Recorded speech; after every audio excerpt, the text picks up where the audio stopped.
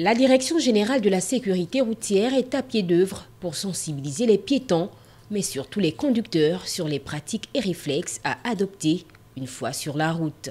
Vous savez, nous sommes à la veille des grands départs en vacances et cette période est marquée par un fort déplacement des populations euh, et c'est également une période particulièrement euh, accidentogène.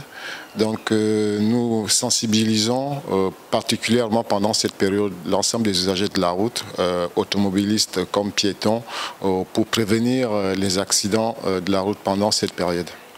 Ne voulons pas uniquement limiter son champ d'action dans la capitale gabonaise, le directeur général de la sécurité routière et son équipe ont opté pour une sensibilisation à l'intérieur du pays, précisément ici à Ekouk Chantier. Traditionnellement, nous menons ces campagnes à Libreville. Ekouk Chantier, c'est un village euh, situé sur la nationale à 5 40 km de Libreville. Et ce village a été marqué et éprouvé par de graves accidents de la route ces deux dernières années.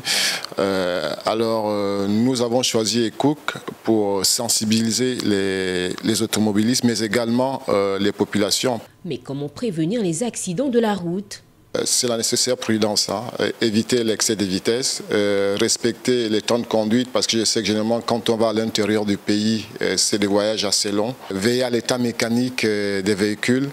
naturellement, éviter l'alcool et le téléphone au volant. Pour freiner les risques d'accident, la Direction générale de la sécurité routière promet un renforcement de sa présence sur le terrain à travers le pays.